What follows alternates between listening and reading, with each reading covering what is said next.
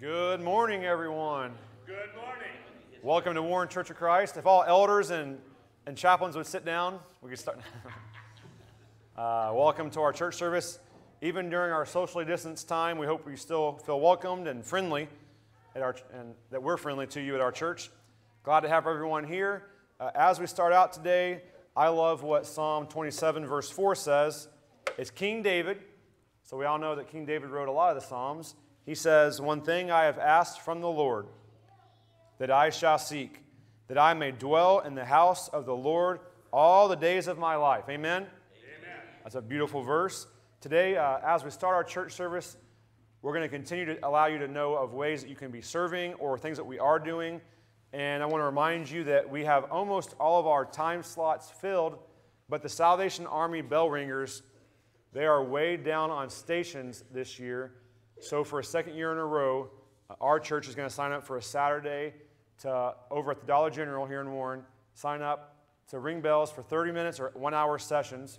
We only have a, a, few, a few slots left open. So, if you're online, text me or make a comment on our service. Or if you're here, sign up after church. But we'd love to have you ring bells and raise money for a great cause. Also, uh, I want to pray and then turn the floor over to Shana Fortney, who's going to share some amazing things that have happened and that will continue to happen at our church. Some are service and some are worship geared. So have your ears open and your hand and pen ready to write some of these some of this stuff down. Let's pray together, and then after she's done, we'll sing together. So let's pray. God, uh, we are we're calling out to you this morning. We're praying that your that your glory will shine in this room, that your glory will shine in our hearts wherever we are. Father, it's our prayer that you will be honored and glorified because of what we're doing and because of what you've done, because of our singing and, and giving you the praise, and because of the fact that you, God, are the creator of everything. We pray that no matter what our attitudes were coming in, that they will change and be filled, our, our hearts will be filled and our attitude will leave here not only wanting to glorify you and praising your name, but to having the, the name of Jesus Christ, our, the Messiah, our Savior, on the tips of our tongue wherever we go. God, lead us in this endeavor, we pray, in the name of Jesus Christ. Amen.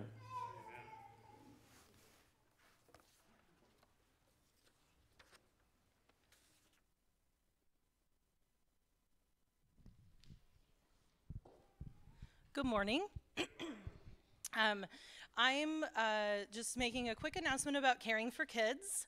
Um, I know Shanna will Shanna will properly thank the church and all those involved for their um, help with the meals that we have filled our freezers with uh, to be distributed.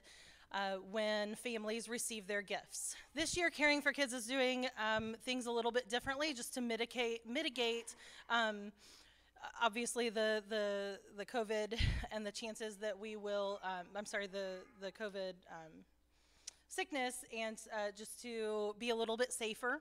Um, so some changes have happened, and one of those changed, which kind of hurts all of our hearts here at Warren Church of Christ. So many of us loved helping wrap gifts. Now, if that's you, um, we still have some service opportunities for you when it comes to that. Um, we need some volunteers. Um, Caring for Kids needs some volunteers for assisting families when they receive their gifts because they're going to, um, they have a different process this year. Those opportunities involve uh, the days of uh, December 11th, it's a Friday, uh, 12th, Saturday, and the 13th, Sunday. So if you have any free time, um, please see me. And if you want to, to be involved that way, um, they they really need our need some help uh, for some volunteers for dis- their dis- their new their uh, 2020 distribution day um, that will look very different than what we're used to. Um, so um, the other uh, opportunity is also on that day we need just a couple people to help uh, pass out the meals that we have made. Um, all of our freezer meals each family we were used to packing our boxes. Here at packing the boxes the meal bags um, for uh, distribution with the gifts um, and the Santa bags and the none of that's happening this year. Um, but you will be able to serve in that way as well by um, helping us get some of those meals out to the families that come for their gifts um, to Markle Church of Christ. So if you want any more information on that, please see me. Thank you. All right. Um, just a quick update on the Feed the Flock ministry.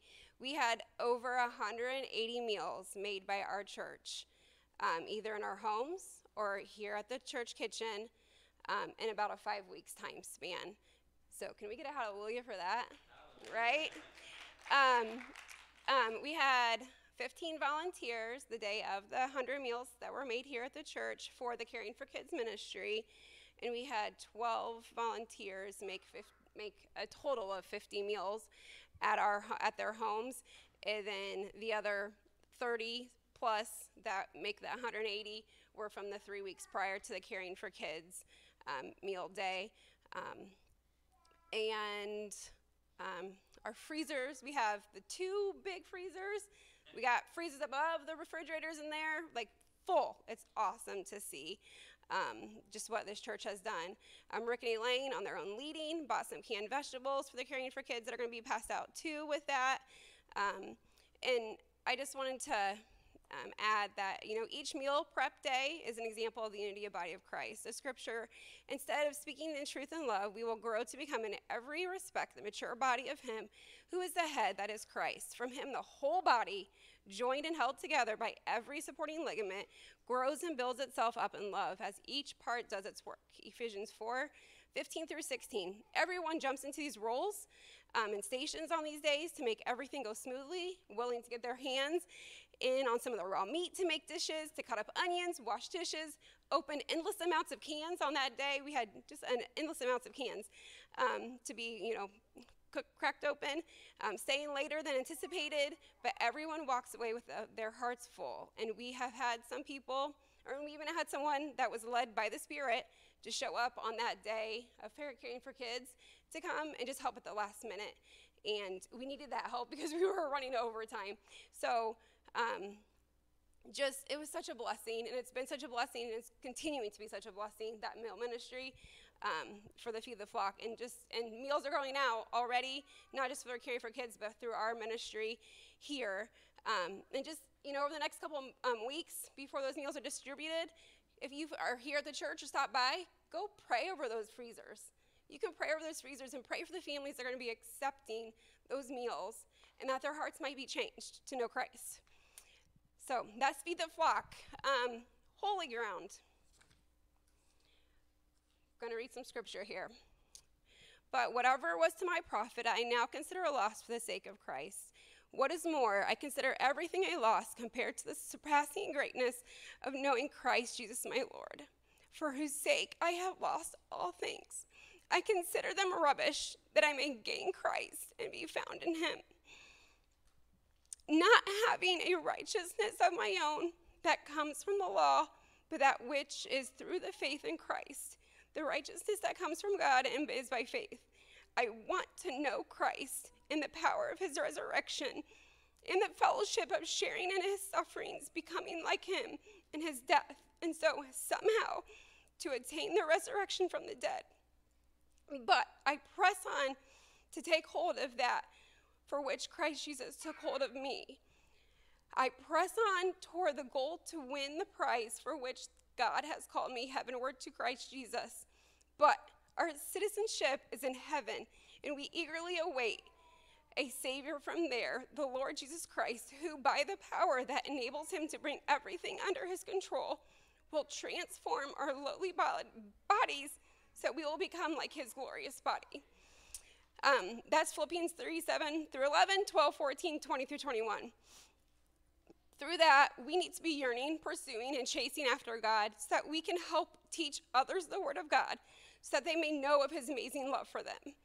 The idea of holy ground, which we haven't done for a while due to COVID, um, was to come together and be rooted in the word, to dive deep into it, and to make it applicable. The idea came from the book Radical by David Platt. He met in persecuted countries for hours and for days in a row in quiet, dark rooms, meeting with believers to teach God's word so that they can spread it to other house churches carefully, meaning their lives were in danger for spreading God's word. That could happen to us. We never know. Okay? Um, we have had different looks of a service for our holy grounds over the past four or five years. I don't know, we've been doing it for quite a while. But we are convinced we need to be now more than ever prepared in the Word and then sharing that with those around us. So, on Friday, December 11th at 6 p.m., we are going to come together for around five hours to take part of Secret Church 1, the survey of the Old Testament. There will be four one hour sessions of David Platt examining a rather large portion of the Bible that many Christians find confusing and even intimidating the Old Testament. This study looks at the um, this study looks at the Old Testament and its literary, historical, and theological dimensions, and it offers a survey of all 39 books. As we'll see, there's more here than a collection of good moral principles and examples. The God inspired words of the Old Testament points us to Christ, to his church, and to God's plans for all nations. Um, so we'll go, we'll do a quick review, review, but then he puts it all together, and it's every word is so amazing in these um, teachings that he's doing, and um, it's it's you just want to keep listening more and more and more from these from these teachings. It's just it's awesome. Um, so we will have a few short breaks during that time. There'll be times of prayer for the Peace Cure Church and possibly a brief time of worship. We will socially distance. You can wear your mask. Um, when up and about, if you need to get up and kind of walk around, just stay awake during that evening. Um, and we'll be providing some type of babysitting. Um, but we need you to sign up to know how many study guides to get, which will be a small fee, but please don't let that hinder you from coming.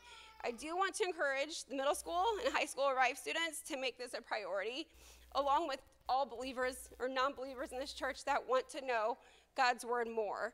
Um, because we need to get this word out and we need to be sharing God's word so people get to know Jesus. Um, if you are uncomfortable about coming to, during due to the current situation of COVID, we will find a way to get the materials to you, and we will find a way to get you to be able to watch these um, sessions because we feel that is that important. Um, you know, just over the last couple weeks, Ethan has read from the Bible that we need to go and spread the word, and we can't wait to do so. We have to be doing this now, now and we need to be getting and, and learning. Um, so I just pray that you guys will take this to heart um, and that we'll get to see, you know, quite a few of you come to Secret Church. And even if five people come, 10 people come, those 10 people will multiply and keep multiplying and keep multiplying. So um, let's worship.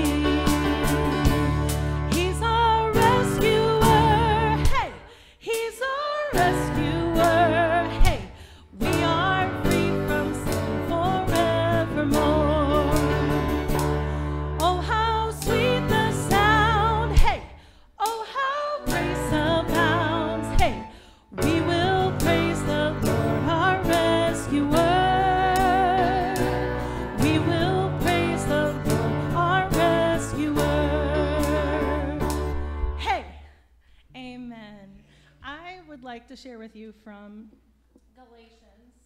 Sorry, Galatians. Um, we hear from Paul.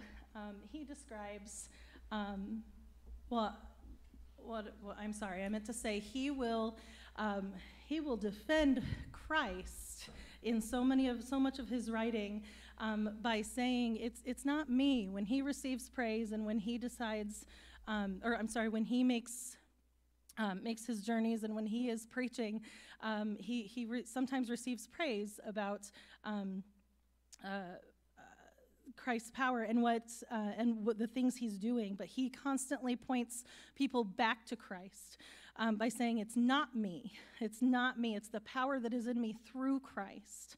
He says, I have been crucified with Christ. It is no longer I who live, but Christ who lives in me. In the life I now live in the flesh, I live by faith in the Son of God, who loved me and gave himself for me. Amen. The next song that we will sing together um, as a body um, is Yet Not I, but Through Christ in Me. And so many of the songs that we sing are thoughtfully picked out, thoughtfully chosen, and that is also done through the power of Christ, not by us. Um, we here at, church, at uh, Warren Church of Christ believe that when uh, song services are planned, um, that's it's through the power of Christ um, that we do that. Um, and this one is no exception in that uh, we get to hear the whole story. We get to hear of all the things and proclaim all of the things that Christ has done for us and who he is for us. So please join us.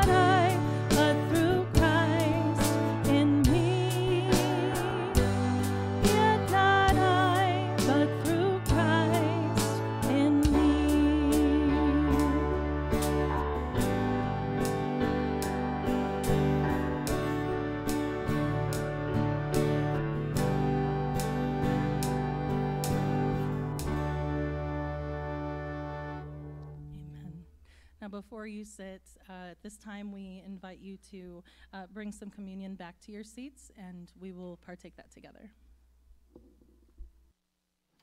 Good morning, everybody. For our communion invitation this morning, I wanted to do something just a little bit different. So I asked our Revive students uh, this simple question What does communion mean to you? And their answers had a wide range, uh, but I want you guys to hear what they said. And following their answers, Ella and Abigail are going to be reading Romans 5, verses 6 to 9. Communion is taking the time to remember what Jesus did for you. Communion is taking the body and the blood of Christ.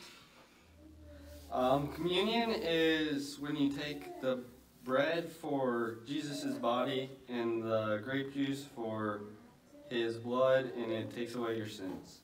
Communion is a time to remember how Jesus died on the cross for us to forgive us for our sins. Communion is when you're like supposed to remember what Jesus did for you. It's like when his um, body is the bread and his blood is the wine. When we were utterly helpless, Christ came at just the right time and died for us sinners. Now, most people would not be willing to die for an upright person, though someone might perhaps be willing to die for a person who is especially good. But God showed his great love for us by sending Christ to die for us while we were still sinners. And since we have been made right in God's sight by the blood of Christ, he will certainly save us from God's condemnation. You can see that their answers range from just taking the bread and the juice to remembering uh, what Jesus did for us. And we see in this Romans passage uh, that God sent Jesus to die for us while we were still sinners. This isn't because we aren't good enough, but because God loved us so much that he sent Jesus to die in our place. The love that caused Christ to die for us is the same love that sends the Holy Spirit to live in us and guide us every day. The same power that raised Jesus from the dead is the same power that saved us and is available for us to use in our daily lives. Now, I'd like you to take a couple of minutes to reflect on what Jesus has done for you.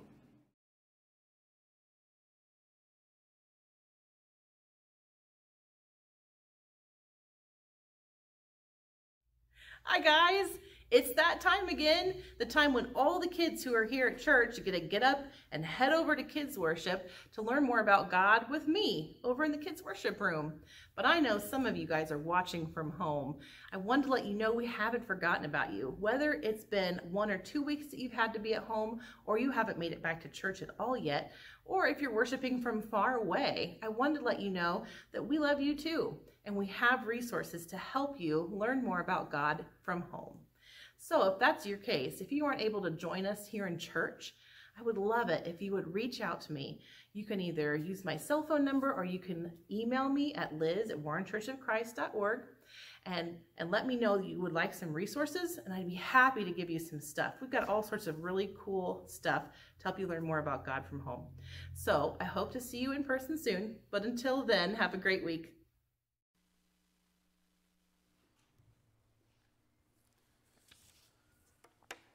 Okay, everybody. So Shanna said we're a church that goes. I agree with that. And our youth group explained that we're a church that honors Christ's sacrifice. Great job. Not only great job speaking and reading, but great job holding up that board when you're reading that scripture. That was cool. That's creative. Whoever thought of that? Uh, our church also needs to be a church that prays. We're a praying church because God's listening. Amen? Amen. And I would like us to have our bulletins handy. The online bulletin will be available after church today. But those of us that are here, we have our bulletins on the reverse side from the order of our service. You'll see several names you can pray for. You see ways you can be involved. I have a few things you can add to our prayer list today. So, in addition to praying for these people, please add the following. So, Joe and Becky Hartley, they're not here today. They say they send their best, and uh, Becky would like us to pray for her family because her uncle Joe, Joe Huber, uh, he passed away. He had been battling COVID, and he got to come back to Heritage Point. It, he did come back to Heritage Point, right? But uh, he did pass away. Went in and out of the hospital, um, but did spend his final days at Heritage Point. Uh, that's Becky Hartley's uncle, Joe Huber. Um, thank you for praying for their family. I also had a request of prayer from Kim Jordan. Kim's family is all from Michigan, And uh, her brother up there is Kurt Kwiatkowski. And Kurt has an upcoming surgery this Thursday. And she said uh, she would appreciate it if our church family would lift up Kurt and just she'll pass along that uh, a lot of people down in the Warren area are thinking of him and praying for him. So, surgery on Thursday, prayers requested. And I said, sure thing. Now, this has been a pretty tough week for, uh, for the Pew family. Jerry and Sharon, they live in Ossian at the uh, nursing home there. They're still hoping, they were hoping before COVID to have about a three to six month window to transfer over to Heritage Point. That has been postponed until all this ends. But Sharon has spent a few days in the hospital this week, and she hopes to get out soon. But she is battling kidney stones and a few other, uh, a few other health issues. So let's lift up Sharon, and not to leave out Jerry. Jerry says uh, they've been married. I forget what he said, 60 something years, and he's like, "Yeah, we've been apart before. One time, back when I was in uh, uh National Guard basic training, I wasn't with her for a weekend." And he said, Pray for me. You know, she's gone for the next few days and it's killing him. So prayers for both Jerry and Sharon Pugh as she hopes to heal and get back with them over in Ossian. The last one is praying for a church that we support, the churches we support. Our church here, um, we do our best to, to pay it forward, not because our fellow man tells us to, but because, because, because God tells us to. Our goal is to be generous with uh, local churches and missionaries that spread God's word. And our mission of the month right now is the Latin American uh, Ministries. And this is primarily represented by Billy and Betty Loft. And they're in the Nicaragua churches. Uh, and there has been a second or even a thir- two or three, two hurricanes that have hit that area. You know, when a hurricane, I was actually talking to Roberta, a hurricane hit Florida. She got six inches of rain, and there might have been some damage but there wasn't a catastrophe there, right? It's survivable. It's a little different in Latin America, in the Honduras area as well. Uh, so let's lift up our church, the Latin, our mission, the Latin American ministries. We have uh, the churches down there, we have people that we support whose homes have been destroyed from the winds, from the flooding. And I think it'd be appropriate. I know several of you, for each mission of the month, you uh, set aside certain amounts of your tithe, you go above and beyond to support them. This would be an appropriate time, especially just like we had supported WAMA over the last few weeks, and we raised, uh, I haven't gotten a tally yet, but I know it's over $500, including our missions money, maybe even a lot more than that. Thank you for doing that. Maybe you'll consider the Latin American ministries, uh, the two hurricanes that have devastated the church family down there, and many others they plan to help. Maybe you'll consider supporting uh, them as well. Let's go to God for our prayer requests, those who have lost people, those with surgeries, those wanting to come home, and those that are going through a devastation right now, and so much more. Let's pray together. God, not only is your Son our Lord, but because of him, we have you as our provider. We know just like a, a, father and mother to a child who cares for and wants to see a child do well, we know you care about us. You want what's best for us. We don't always understand that. We don't always agree with that. But God, we will always pray for your will, for your love to be seen, and your will to be done in our lives. So, for our family that's watching online, for our family that's here uh, in person, for our guests, we ask God that we will all take comfort in knowing that you have everything in your control. And we ask that you will be there and support us like we know you will. Guide us and allow us to see your presence. We pray this in Jesus' name. Amen.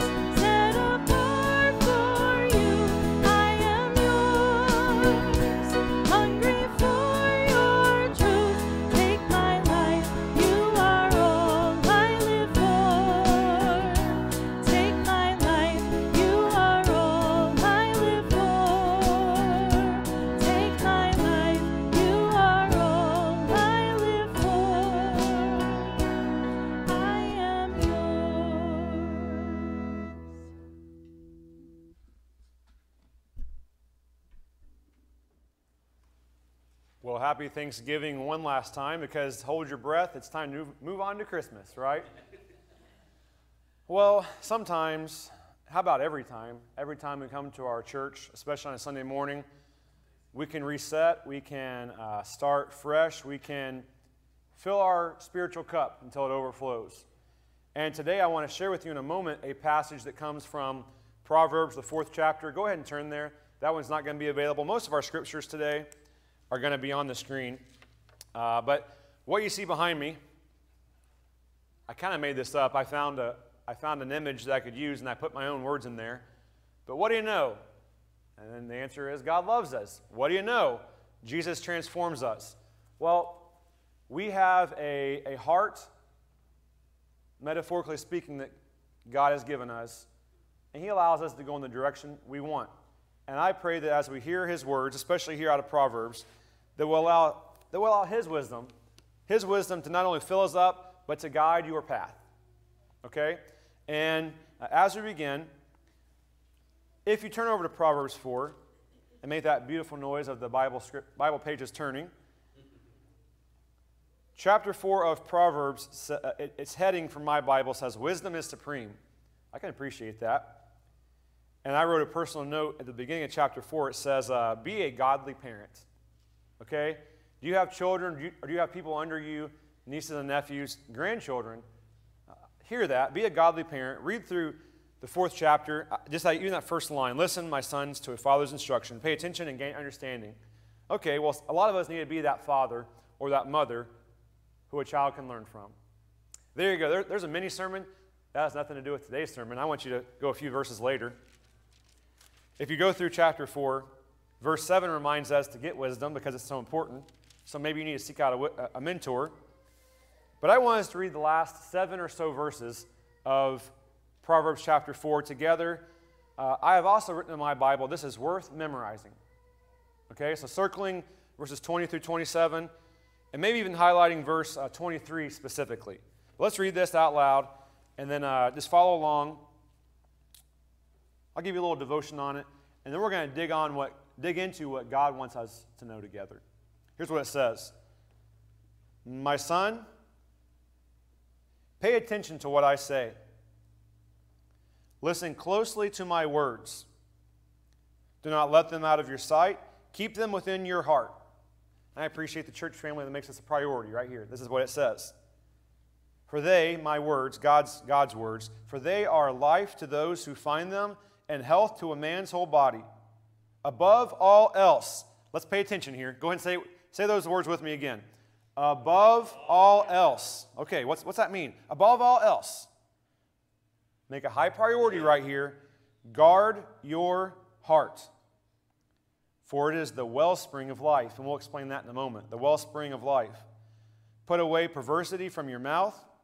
Keep corrupt talk far from your lips. Let your eyes look straight ahead. Fix your gaze directly before you. Make level paths for your feet, and take only ways that are firm. Do not swerve to the right or to the left. Keep, uh, keep your foot from evil. Uh, as I was working on a message to share kind of after our Thanksgiving time, and yet before our Christmas time, my, my preacher from my youth, Wally Rendell, he sent me a newsletter a few months ago of, a, of an outline of what God wants you to know. It's from Victor Knowles, and it was full of scriptures. In fact, it was only scriptures. And uh, I'm very thankful to have an amazing audio visual team who helps me out. We're going to see several verses pop up in a few moments that are filled with things that God wants us to know. So I thank them. I thank you. You're welcome to turn, you're welcome to write down, but we'll have the majority of these verses on the screen. But I want to start with what do you need to know? It's not only does God ask us, in fact, tell us to seek his face through wisdom, but it should be a priority to fill your heart with godly things and allow those other things to just leave. So here's what I'm thinking of. Now more than ever, we need to be a people of good cheer. Does that make sense? Being happy and joyful. In fact, uh, I got to pray for my Thanksgiving meal, and my aunt had on a shirt, and it said, Choose joy. How true is that? We have a choice to make, choosing the, the, the, the attitude we're going to have. Well, what can you do in kind of a crazy time? I don't want to, I don't want to beat a dead drum. Uh, uh, I don't want to beat on a drum that just keeps on going. How about that? But with COVID and the election, everything else that's going on, we have a lot of things we could choose other than joy. But I wrote down three things just going on. They popped into my head just this week. Have you got your Christmas tree up yet? That's a small thing you can do. Uh, it's a traditional thing. It's after Thanksgiving. Hopefully, you didn't put it up yet, and hopefully, you don't forget get to take it down until February. But get your Christmas tree up. I, Misty, got, we got ours out, and I have about a dozen Christmas tree ornaments that I love to look at, and I have memories. And in fact, uh, uh, one that was a gift our first year here, and we, we, uh, we each remember a different person giving it to us. We're not sure who. Uh, we, we haven't narrowed down to two families, but we were given a uh, Warren Church of Christ Christmas ornament with our, with our church painted on the outside of it. And I love looking at that. I love having that. You know, it, it cheered me up. So if you can pan with me to my, to my right, to your left, you know, maybe you need to put up your nativity scene. Thank you to the Sparks family and to Lori Blair as well for helping. But, you know, does this kind of give you a positive attitude when you see this? Whether it's the, manger scene or whether it's thinking of your youth with the Christmas trees or the snow kind of around here, that part can wait a few more, a few more weeks for me. That's okay. but can you put up a Christmas tree? Sounds small, right? Well, uh, can, you, can you get your Christmas cards rolling? Uh, do even more than normal. How about that? Can you work on some Christmas cards? Send out an extra five. You can send those to a friend or someone who's in isolation this year. You know, I like getting a Christmas card, but someone who's not around people will probably really appreciate getting a Christmas card. Uh, you can go on down the list. You could order flowers for a friend or, again, someone in isolation. Christmas cards, Christmas trees, flowers. You know, what do you know? Well, let, let me encourage you to choose joy. Does that make sense? Now, if you still have your Bibles open to our main passage, it's Proverbs chapter 4, and verse 23 is uh, Proverbs 4, verse 23. Above all else, guard your heart, for it is the wellspring of everything, of life. And what does it mean to, to guard your heart? What's it mean to do this? How do you do this? It's easy to kind, of, to kind of give an instruction or to read a scripture, and then you wonder, what am I to do? Now, if you think about your heart, you know, maybe, maybe you hear your own heartbeat sometimes when you're so quiet, or maybe you're laying close enough to a child or to a spouse, you can hear their heartbeat. The heart really isn't anything that uh, dramatic to, uh, you know, I, I, guess I don't understand why we choose our heart to be this place that we kind of describe. It's as where our emotions flow out of. But the heart itself is just a, a bodily function that circulates in the blood. It's important. It's kind of a weird thing. Eh, it's more of a metaphor, right? It's obviously a metaphor. It's, uh, I found some stuff. To the Hebrews, the heart was the center of feelings. You ever heard that before? That's where their feelings came from.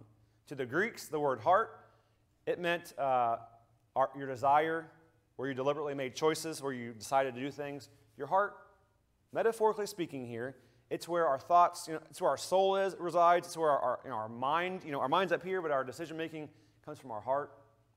And when you hear these types of things, uh, the Amplified Bible translation, it describes verse 23 like this It says, Above all, guard your heart, for it affects everything you do.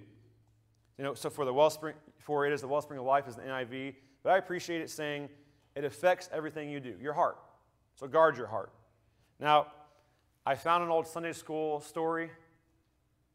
Think, when you hear the word Sunday school in childhood, what do you think of? You know, I don't know what you think of.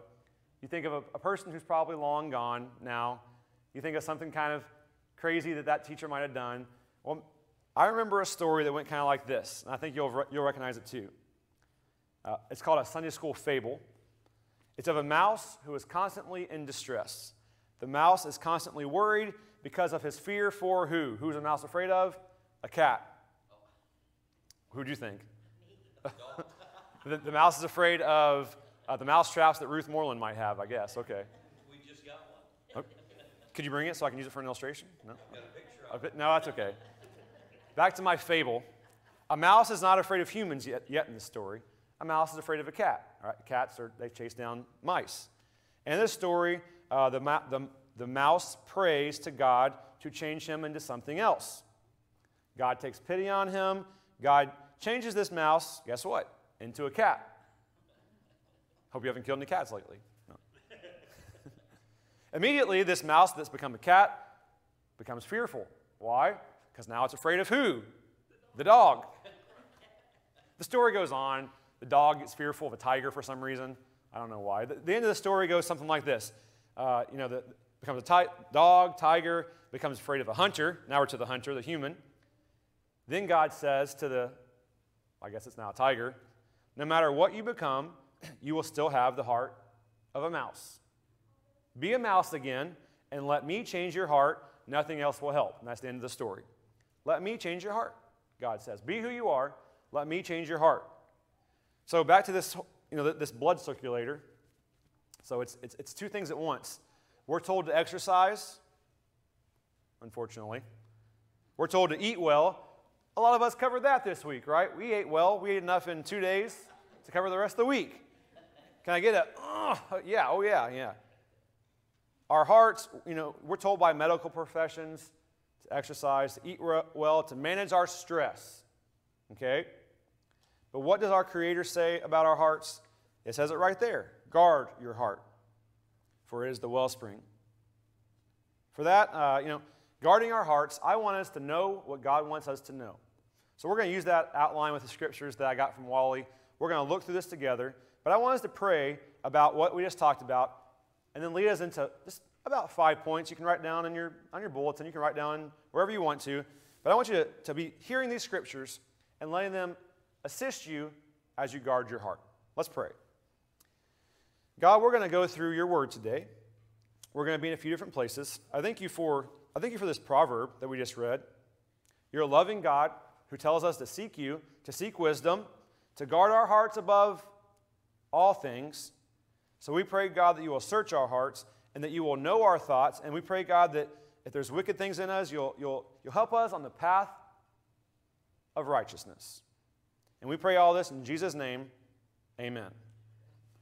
Okay, so for, for quite some time, we'll have the scriptures pop up, but you're more than welcome to turn with me or to write them down as we go through them. But here's what I want to do what do you know? Well, you all know a lot. And I bet you combined we could even do pretty good on Jeopardy. You know, I don't know if we combine our, combine our strength of our minds, maybe. but I want you to know today what God wants you to know, okay? So we're going to write down five things God wants us to know. We'll go through two or three scriptures for each one. Here's how it goes. The first thing from this outline that I found and definitely approve of and support, it goes like this God wants you to know that God formed you, okay? If you hear nothing else, know that God formed you. That should matter. In fact, the more I hear of all these uh, astrophysicists and, and people searching the, the far reaches of our universe, and the more they're dumbfounded, to be honest with you, the more they're confounded and dumbfounded about the, the greatness of this universe and how mu- there must be something out there, the more I appreciate the fact that my Creator not only made that, but He made me. He made you. How amazing is that? Let's go to Genesis chapter 1, verses 26 and verse 27. Then God said, and here are the first two words what God said Let us, let us make man in our image, in our, in our likeness. So God created man in his own image. In the image of God, he created him. Male and female, he created them. Okay? Now, I think it's interesting, and I wanted you to hear that first, those first two words that he said. God refers to himself as let us. If I came up here and said, uh, we're going to preach today, and no one else came up here, you'd think I was a little odd. You might already think I'm a little odd. That's a different story. But God says, let us. It's very easy to forget that God is one, and God is also three. It's easy to forget that because it's hard to understand that, but I accept it.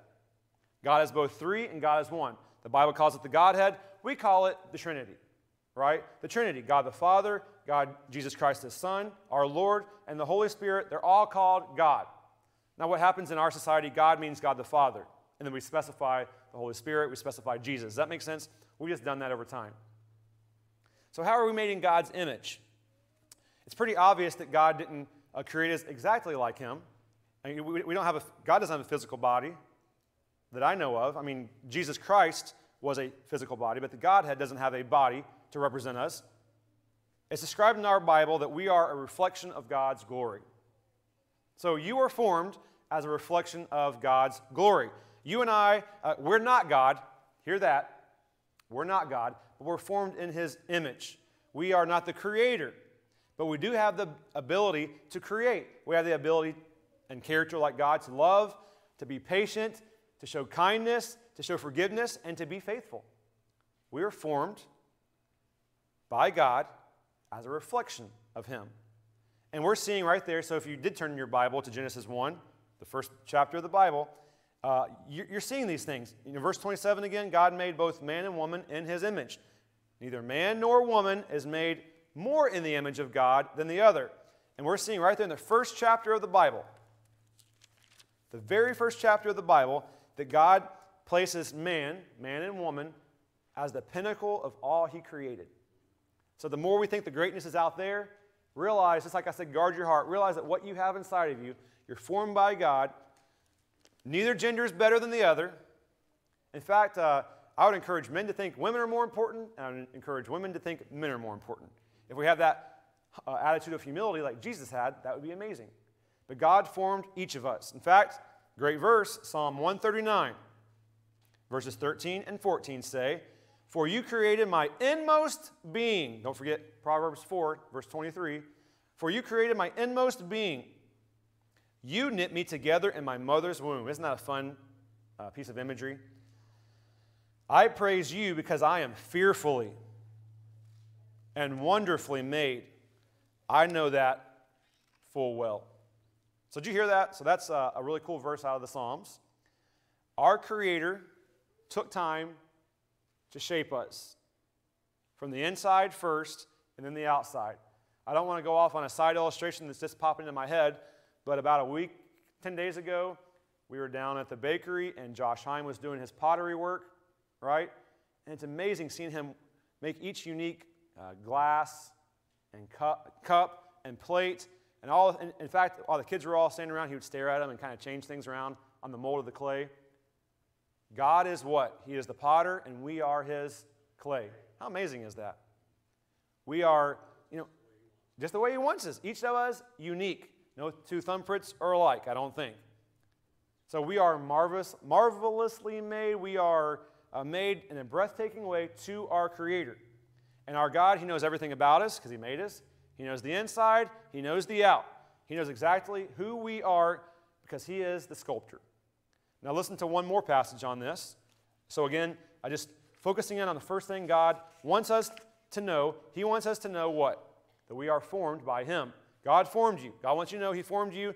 Jeremiah's words, they're very, when I read this the first time in Jeremiah, I thought, man, this guy's kind of uh, confident when he's saying this. It's right there in the beginning, chapter 1.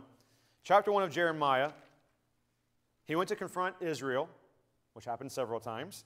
And Jeremiah says in verses 4 and 5, he says, The word of the Lord came to me, saying, Before I formed you in the womb, I knew you.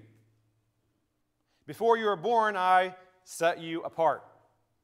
I appointed you a prophet to the nations. Now, he is talking specifically about one man right there in Jeremiah 1 4 and 5.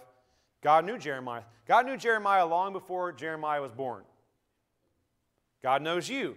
God knew you long before you were born. In fact, uh, as I was getting those Christmas tree ornaments out, I saw one that said 2000 and, what did it say? 2001 maybe or 19, I can't, 1995 I think it was. It had the back the number the, the date on it. I said, Lincoln, you weren't even a thought yet. He was there helping me. And I, I, probably should have said, as a good father, but God knew you back then. In fact, I might recreate that scene later on today. But God knew us before we were even conceived, even before we were born. God knew Jeremiah. So whenever I feel inadequate, whenever you feel inadequate or discouraged, whenever these things are going on, remember that you are valuable to God, just like Jeremiah was valuable to God. He has a purpose for us. That's the first thing that I want you to know. The first thing that we need, that God wants us to know, uh, the reason I let off with this, the reason we're acknowledging the fact that we're formed by the Creator, we're made in God's image, we have His characteristics, we, we have what it takes. I want to provide you with encouragement right now. Before we go to the other four things, God made you. Know that. In fact, know that because it's about to be a couple things that we don't like to point out, but some other things that we need to know that God wants us to know. So I want to encourage you. I want to reiterate that God says in His Word, by His mouth, that you are important and you're made in His image. So I hope that makes sense. Okay? Now, continuing on, feeling positive about ourselves, we're going to spend a couple minutes. I won't spend, I won't dwell on this too long, but as ministers, we should. God wants us to know the second thing. God wants us to know not only are we formed by Him, but we are misinformed by Satan. So you're going to see a great outline here. And if you are writing these down, it's beautifully put together. Thank you, Victor, not Ethan. But Satan has misinformed you. Go back to the beginning of the Bibles. So we were just in Genesis 1. Hey, how cool is it? Man and woman created in God's image. Ah, in there, please. Nope, it keeps going. Go to chapter 3. We'll look at verse 1. We'll look at verse 4. Now the serpent. Ugh. You know what? I dislike the devil so much. When I'm typing up my notes and it comes to typing the word Satan and the word devil, uh, it, I, I, never want to capitalize it because I always capitalize God, Lord, Jesus to give him praise and glory. When I'm, I'm always put capital J or capital G. I don't like doing a capital S or capital D, and I always get the red underline on Microsoft Word, and that drives me crazy because I got kind of an analytical brain. But I don't want to honor Satan at all because he is a jerk. In fact, let me reread this. And when I say the word serpent, go ahead and give me your best hiss out there, okay? When I say the word serpent, don't jump early. Now the serpent. Ugh. Ugh. It's okay to say hate for that guy. Now the serpent was more crafty than any other of the wild animals the Lord God had made. He said to the, to the woman, Who? The serpent. The serpent said to the woman, Did God really, ugh, did God really say you must not eat from any tree in the garden? I don't like that. Continuing on a few verses later, the serpent, You will not certainly die, the serpent said to the woman. Thank you. For God knows that when you eat from it, your eyes will be opened, and you will be like God, knowing good and evil. The devil disguised himself as a serpent, a disgusting animal. Who likes snakes? Maybe one or two people, not a lot of us. I, when I read through this, Temptations equals bad. Satan loves doing this trick on us. What tempts you? You should have a different answer. You might have the same answer. What tempts you? Realize that Satan is going to misinform you. He's probably going to do similar to what he did with the first man, with the first woman. He's going to find a way to encourage you to just follow those temptations. And I want to remind you don't do it. I don't want to dwell much longer on this, but God wants you to know that Satan misinformed you. Now, that was Genesis, book one. Go about 65 books later, you'll get to the 66th book of the Bible, Revelation. In fact, Revelation chapter 12 and verse 9, it says, The great dragon. So we've changed from what I said before, I want you to hiss this time, to a dragon. Verse 9, the great dragon. I guess you could go, you could get like a flame torch out and do it out of your mouth if you wanted to right now. The great dragon was hurled down, that ancient serpent called the devil or Satan, who led the whole world astray. He was hurled to the earth and his angels with him. Satan wants to take as many away from God as he can. He doesn't care if he's going to hurt you, which he's going to. He wants to hurt God. Okay? We are created not in Satan's image, in God's image. God wants you to know to prepare yourself hey, I did form you. I loved creating you uniquely. But there's going to be some things here on earth you're going to have to deal with. And Satan is going to misinform you. In fact, let's just go ahead and uh, let's go to point three. That's kind of a part two of this one. You can write this down. God wants you to know that sin deformed you. Does that make sense? Sin equals bad. Sin equals bad people. My family just read through the Noah's Ark story. Fantastic story. But it's not as much as a children's story as you think, right? We think that's a children's story.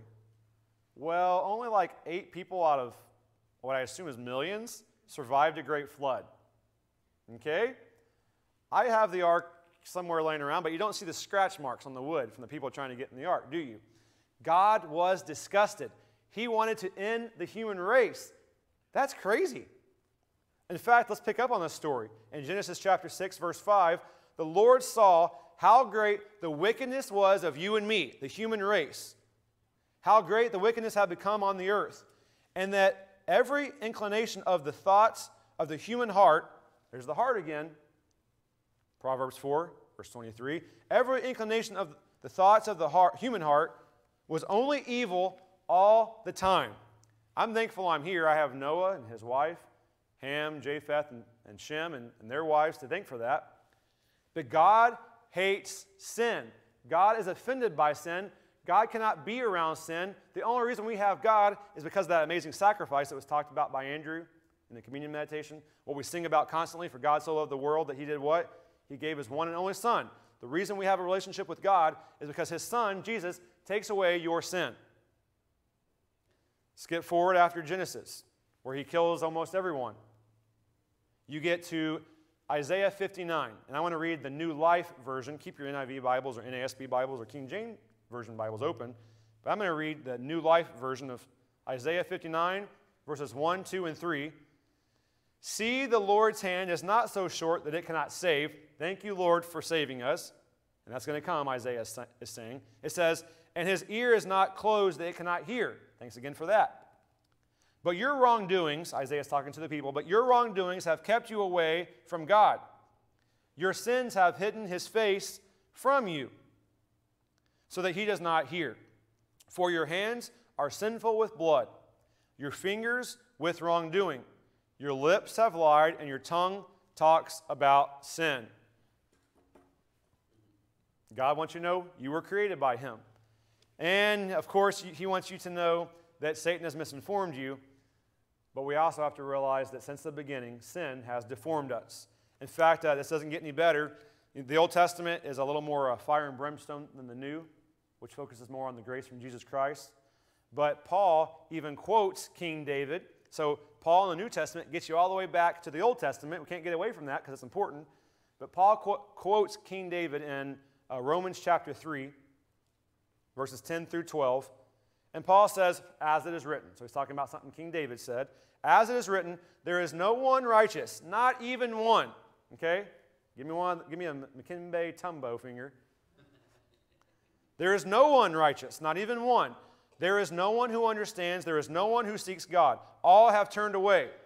Now take that finger and kind of point it right there. Yep. All have turned away. They have together become worthless. Ah, uh, God creates us, but we have become, by our own choice, worthless. There is no one who does good, not even one. Man, Paul, come on, man. There'll be a lot more come on mans this year. After quoting King David in this chapter, Romans chapter 3, just a few verses later, Paul adds this. Now we're back to his own words. A few verses later, Paul says in Romans 3, verse 23, For all have sinned all fall short of the glory of God. Sin deforms you. If I ended there, we'd go out with our shoulders slumped and not very happy. But He made you, He formed you. The devil misinforms you, sin deforms you. Let's be done with the, the negative stuff. Let's focus on the good stuff. God wants you to know what? The Word of God, number four, the Word of God informs you. Okay, so you just got informed you're bad on your own. You've sinned. You cannot have a relationship with the Holy One on your own. Okay, we need to understand what the Word of God says. The Word should be on our hearts. In fact, Psalm, now hear me here because I'm going to kind of use a few different verses. Psalm 119, kind of a long psalm, right? Psalm 119, we'll look at verse 89, verse 105, and verse 130. I'll read them all together, but these aren't all written together. Here's what it says Your word, Lord, is eternal, it stands firm in the heavens. 89. 105, Your word is a lamp for my feet and a light for my path. The unfolding of your word gives light, it gives understanding to the simple. God wants you to know the word of God informs you. How can I, how can I take Psalm 119 and make it a modern day illustration? What's one of the first things I encourage you to do today? To put up a Christmas tree. And my family, putting up a Christmas tree means rearranging your entire living room. Anybody else have one of those households? You got to rearrange everything? That's fine and dandy until dad turns all the lights off. And then guess what? I'm thankful for a wise wife. One of my children, Ren, she's still five. She, oh, about once, twice a week, she wakes up. She bypasses the restroom right by her room and comes and tells us she needs to go to the restroom when she goes in our restroom. Missy made sure she knew last night there's a Christmas tree directly in your path of getting to our room. Okay? I should have, a good dad, would have left the Christmas tree lights on so there'd be a light for her feet to see where she's going, her path, right? But her dad's a cheapskate, so he pulls the plug about 11 o'clock. But she needs to know what's going on. She needs to have a path to get to mom and dad. We're hearing right here the Word of God is the path you take. It's the way we understand. It's what we need because it was from God to you. One of the best verses of the Bible, I hope you know it, is 2 Timothy 3 16 and 17. You'll know it if you, if you didn't, you'll know it now. All scripture is God breathed, and it's useful for teaching, rebuking, correcting, and training in righteousness, so that the servant of God may be thoroughly equipped for every good work. Okay, that's beautiful. I don't need to say any more because I want to get to point number five. So the Word of God informs you. That here's my favorite part He is the reason for the season. God wants you to know this Jesus can transform you. So, up to this point, uh, well, as the old Bible would say, we are, uh, let's just say we have a ticket reserved not in heaven, but in hell. So, I appreciate the fifth and final point. I don't want to spend eternity away from God, even though I've made mistakes and deserve it. Let me explain what's going on. While, while preaching in Acts chapter 2, so like I'm talking to you, Peter is talking to a crowd, and Peter says in the 28th verse, You have made known to me the paths of life. You will fill me with joy in your presence. Peter again, Peter, like Paul, quotes King David. David wasn't writing about himself, uh, but he was writing about the one, the Messiah, the one to come. You have made known to me the paths of life, and you will fill me with joy in your presence. Okay, Peter's preaching on Jesus. Then Paul preaches on Jesus as well. He's writing to the church of Corinth. He says in 2 Corinthians uh, 5 17, here's what he says. Let me get my 2 Corinthians 5 17. He says the following If anyone is in Christ, he is a new creation. I love that. If anyone is in Christ, he is a new creation. If anyone is in Christ, the new creation has come, the NIV says. The old is gone, the new is here. You deserved hell. Through Christ, you receive heaven. Right? I love this. In fact, let me read my note in my Bible here. Christians are brand new people on the inside the Holy Spirit gives them new life, and they are not the same anymore. But let me just go ahead and say this isn't all uh, fluffy and we just get to float around and do what we want. We go from slaves to sin to slaves to Christ. Jesus is our Lord. And then we receive eternity with God. In fact, uh, tying back in with what was said by Shanna and continuing to grow, 2 Peter chapter 3 verse 18 says, "But grow." Let's say grow together. But grow. Okay, 2 Peter 3:18. But grow in the grace and knowledge of our Lord, of your Lord, and Savior Jesus Christ. To him be the glory both now and forever. Amen. 2 Peter 3:18. Now, at least three or four times a year, I can almost use like a second Bible, a hymn, because hymns are almost purely scripture and the hymn softly and tenderly says, Though we have sinned, he has mercy and pardon. Pardon for you and for me. Right? Does that make sense? My closing verse is 1 Thessalonians 5 9. I'm just going all through God's word because God's word is good. 1 Thessalonians 5 9. For God did not appoint us to wrath. Well, thank you. For God did not appoint us to wrath, but to obtain salvation through our Lord Jesus Christ. So if you believe all Scripture is God breathed, is useful for teaching and for rebuking, then you need to hear those words. For God did not appoint us to wrath, but to obtain salvation through our Lord Jesus Christ. I love that. I love hearing that. And what do I know? Not a whole lot. But what does God want me to know? What do I know now? I hope I know a whole lot more. We've just talked about five things that God wants you to know. Now, I hope you have a better idea of, of what that relationship with God is all about. In fact, uh, Christ should be the Lord of your heart, where everything of life overflows. And if Christ is not the Lord of your life, where everything overflows, please do not delay in making a relationship with Him your priority. Please don't uh, delay, but obey. I found that. Please do not delay, but obey.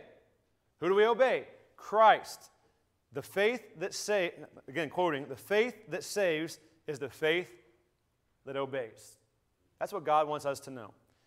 Let's take that with us as we're turning our attention to Jesus Christ, who came from heaven to earth to not only show us the way, but to die for us.